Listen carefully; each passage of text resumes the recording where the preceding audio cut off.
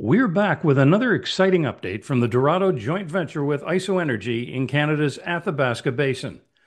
Earlier this month, our discovery at the Q48 target, now named the Nova discovery, sparked a surge of interest, and we've been moving quickly to follow up on those results.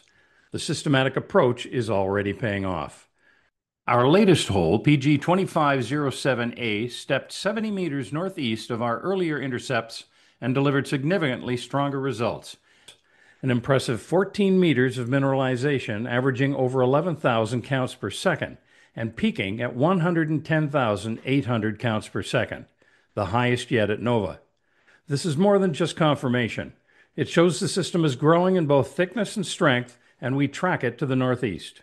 We've now confirmed the mineralization is hosted in a steeply dipping basement structure, not at the unconformity, which is exactly the kind of geometry seen at some of the basin's most significant deposits. The zone remains wide open to the northeast, where radioactivity is increasing, but wet ground conditions are limiting how far we can go for now. We'll be back this winter when the ground freezes to keep advancing what is shaping up to be a truly exciting discovery.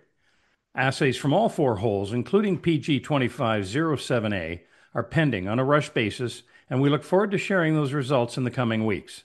In the meantime, you can click below to read the full press release and sign up for updates as the Nova discovery continues to unfold.